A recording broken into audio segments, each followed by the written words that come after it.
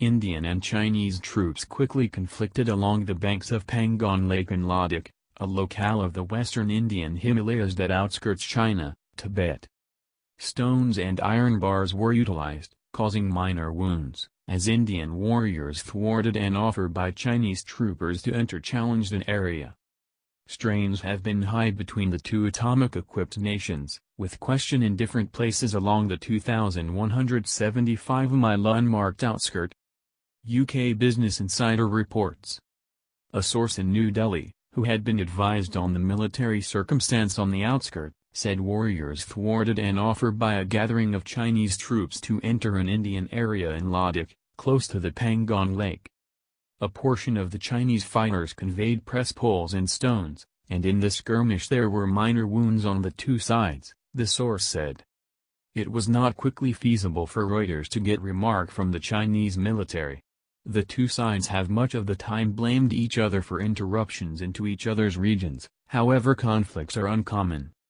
The Indian military declined to remark on the episode.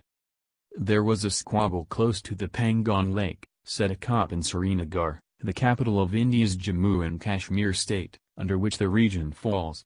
An armed force source in Srinagar additionally discussed a squabble following what he called the Chinese armed force invasion in Pangong Lake region. See also Beijing, 25,000 Chinese spies ready to destroy the U.S. The two armed forces are as of now occupied with a standoff in the Doklam level further east, in another piece of their 3,500 kilometers, 2,175 mile, unmarked mountain outskirt. China has over and over asked India to singularly pull back from the Doklam territory, or else confront the possibility of a heightening. Chinese state media have cautioned India of a destiny more terrible than its devastating thrashing in a concise outskirt war in 1962.